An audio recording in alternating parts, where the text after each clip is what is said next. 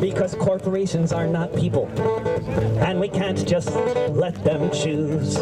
Because if we leave our fate to them, then all of us will surely lose. Because the climate clock is ticking. And we can't just leave our world behind. Because corporate rule isn't working. And it's time for humans' hearts and minds. Because you can't take it with you.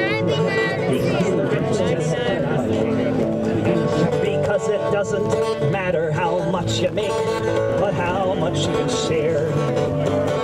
Because Hi, Because these moments don't come often. That, man. How's the B-roll treating you? That's great. Nice. because we know what really matters.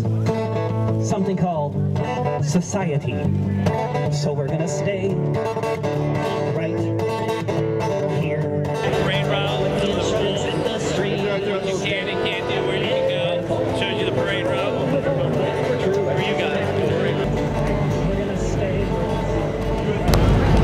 southbound, Second Avenue South, it's about a full block walk from there. And then the public assembly area is right down there. You see the area down there set aside. There's officers along each side of the parade route, basically just to be there, um, protect the process, and uh, let's have a good night. Let's not have any problems. So, my friends, we come together at a time when corporations which place profit over people, self-interest over justice, and oppression over equality not only run our system, but are now gathering to celebrate.